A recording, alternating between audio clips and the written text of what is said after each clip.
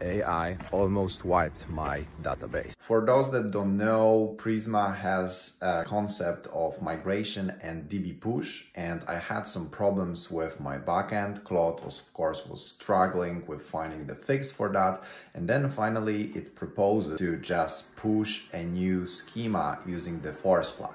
The problem, however, is that if there are some changes in schema, the DB push can actually remove your entire data from database. Claude did this because previously I authorized to run all the Prisma commands. Not really smart, right? But still, it turned out that Prisma is a great tool because it detected that Claude wants to do this not very safe operation and then it just showed all the error to Claude that um, it's not really wise to actually do DB push with force flag especially if you are an AI coding assistant. This situation shows really well that actually developer tools should be aware of the coding assistants and all the side effects that some commands can do. And here the Prisma team did really good job. It's very good that developers are thinking about all the edge cases and what can go wrong. Even when one database will be